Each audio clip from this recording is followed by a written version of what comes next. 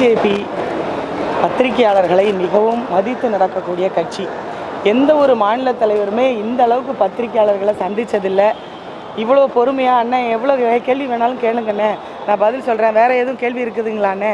அப்படின்னு சொல்லி மிகவும் தன்மையாக அவ்வளவு கேள்விகளையும் எதிர்கொண்டு இன்றைக்கி சிறந்த எதிர்க்கட்சியாக பிஜேபியை வழிநடத்தி வருகிறார் திரு அண்ணாமலை அவர்கள்.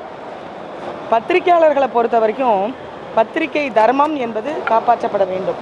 பத்திரிகை தர்மம் அப்படிங்கிறதுக்கு எப்படி ட்ரெஸ் கோடு இருக்கோ அது மாதிரி ஒரு ப்ரெஸ் கோடு இருக்கணும். தமிழக அரசு வந்து எந்தெந்த மாதிரியான கேள்விகளெல்லாம் கேட்கலாம் அப்படின்னு ஒரு பத்திரிகை தர்மம்னு சொல்லி ஒரு ப்ரெஸ் கோடு வைக்காதது தமிழக அரசினுடைய தவறு.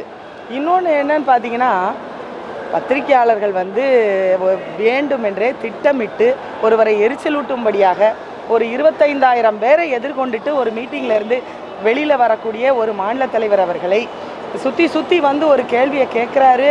அவரை வேண்டுமென்றே இப்படி செய்கிறார் என்று சொன்னால் அவர்கள் பத் கேள் கேள்வி கேட்ட பத்திரிகையாளர் பாவம் அவர் ஒரு அம்புதான். அந்த அம்பை எய்தது கோபாலபுரத்தில் உள்ளவர்கள். எனவே இதுக்கு பதில் வந்து திமுககாரங்களுக்கு தான் தெரியும். எதுக்காக? ஏன்னா எங்கள் தலைவர் ஏற்கனவே சொல்லியிருக்காங்க வெங்காயம் மாதிரி ஒவ்வொரு லேயராக வெளியே வருவாங்கன்னு. முதல்ல பாருங்கள் திருமாவளவன் அறிக்கை கொடுத்தாரு. அடுத்து பாருங்கள் டிகேஎஸ் இளங்கோவன் அறிக்கை கொடுத்தாரு.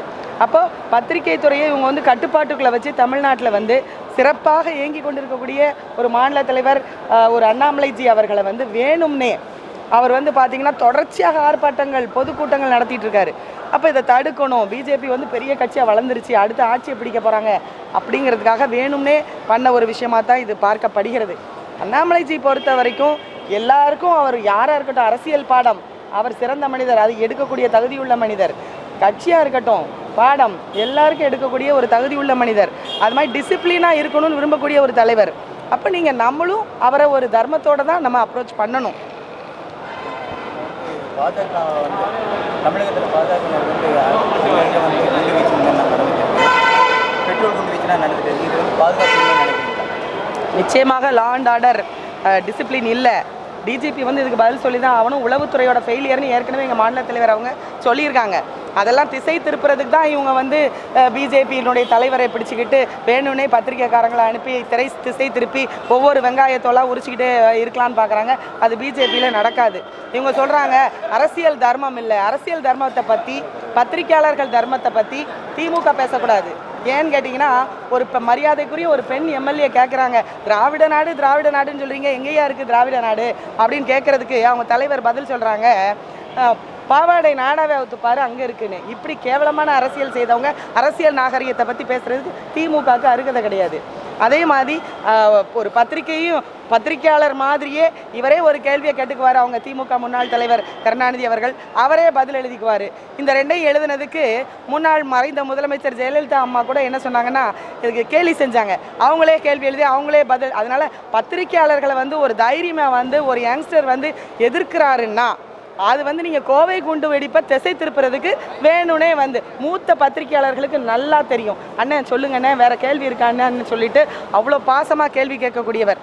அது மாதிரி அன்பு சகோதரர் திருமாவளவன் அவர்களை கேட்கிறேன். திருமாவளவன் அவர்கள் அவங்க கூட்டணியில் இருக்கக்கூடிய வைகோ அவர்கள் ஏன் தலித்துகள்லாம் வந்து சிஎம்மாக வர முடியாதா? அப்படின்னு ஒரு பத்திரிகை நிருபர் கேட்டதுக்கு கோவப்பட்டு மைக்கை தூக்கி விசிறி அடிச்சுட்டு எந்திரிச்சு பத்திரிகையாளர் அவமதிச்சுட்டு எந்திரிச்சு போனார்.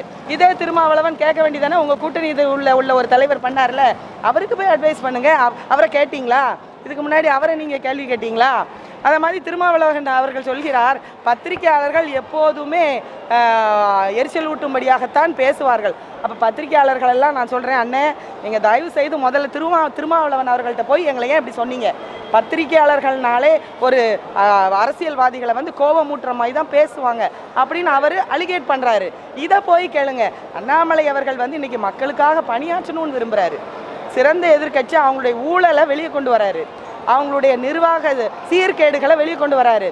லாண்ட் ஆர்டர் டிஸ்ஆர்டரை ஒரு நல்ல ஒரு எக்ஸ் ஐபிஎஸ் ஆஃபீஸராக விஷயம் தெரிஞ்சவர் தமிழ்நாட்டுக்கு வேணும்னு இன்னைக்கு மக்கள் முடிவு பண்ணிட்டாங்க. அதை யாராலையும் தடுக்க முடியாது. அதை பத்திரிகை தர்மம் பத்திரிகையாளர்கள் சொல்லி திசை திருப்பினா அந்த அம்பு எய்யப்பட்ட இடம் கோபாலபுரம் என்றுதான் பிஜேபியினர் சொல்லுவோம். இதை விட ரொம்ப மோசமான விஷயம். கடந்த ரெண்டு நாளைக்கு முன்னாடி சைதை சாதிக்குங்கிறவர் வந்து பிஜேபியில் உள்ள தலை பெண் தலைவர்களை தரக்குறைவாக பேசியிருக்காரு. அதுக்காக ஒரு பெண் எம்பி மன்னிப்பு கேட்டிருக்காங்க. நீங்கள்லாம் மன்னிப்பு கேட்பீங்க.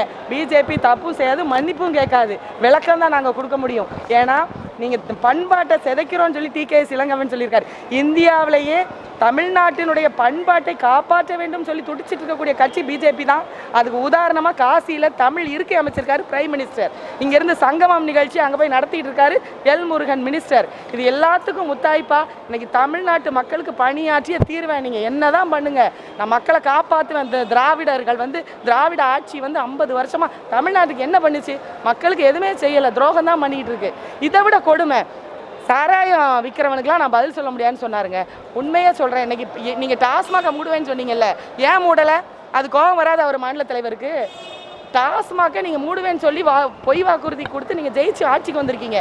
டாஸ்மாக மூடினீங்களா? எத்தனை பெண்கள் தாலியை விற்று இன்னைக்கு புருஷன் அடிக்கிறான் போட்டு நைட்டு நைட்டு அப்படியெல்லாம் இருக்கக்கூடாத சூழ்நிலையை தமிழ்நாட்டில் பார்த்துருக்கக்கூடிய ஒரு ஐபிஎஸ் ஆஃபீஸராக வேலை பார்த்துட்டு வந்து ஒரு டாஸ்மாகெல்லாம் வந்து க ஒரு நக்சலைட்ஸ் எல்லாம் கண்ட்ரோல் பண்ணி வச்சு கொண்டு வந்து ஒர்க் பண்ணிட்டு வந்த ஒரு எக்ஸ் ஐபிஎஸ் ஆஃபீஸர் அவர் எப்படி இதை பார்த்துட்டு இருப்பாரு? நீங்கள் சாராய கடையை மூடுங்க. உங்கள் எம்பிக்கள் நடத்துகிற சாராய ஃபேக்ட்ரி உங்களால் மூட முடியல. அவர் கேட்குறதுல என்ன தப்பு? சாராய விற்கிறவனுக்கு பதில் சொல்ல முடியாது தான் அவருக்கு பிடிக்கல. டாஸ்மாக மூடுங்க. நீங்கள் வாக்குறுதி கொடுத்தீங்கல்ல தமிழ்நாட்டில். நன்றி. Thank you.